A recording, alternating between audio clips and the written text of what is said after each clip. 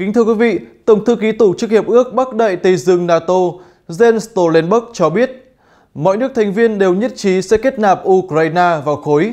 Cụ thể, trong cuộc phỏng vấn được đăng tải trên tờ Washington Post hôm ngày 9 tháng 5, ông Stoltenberg tuyên bố, tất cả các đồng minh của NATO đều thống nhất rằng Ukraine sẽ trở thành thành viên của liên minh.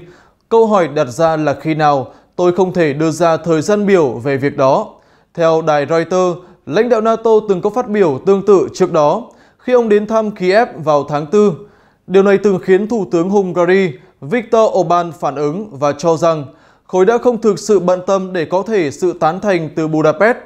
Ông Stoltenberg nói với tờ Washington Post rằng NATO đang giúp Ukraine chuyển đổi từ các thiết bị, học thuyết và tiêu chuẩn trước đây để có thể tương thích với các lực lượng NATO, đồng thời cải cách và hiện đại hóa các thể chế quân sự, quốc phòng của đất nước.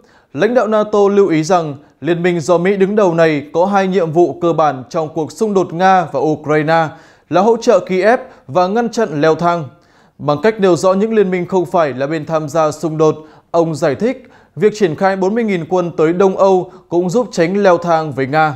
Cũng theo cựu Thủ tướng Na Uy, người giữ vai trò lãnh đạo NATO kể từ tháng 10 năm 2014, Mỹ, Canada và Anh chiếm tới 78% sự hỗ trợ của liên minh dành cho Ukraine. Các nước này đang giúp huấn luyện binh lính của Kiev kể từ năm 2014.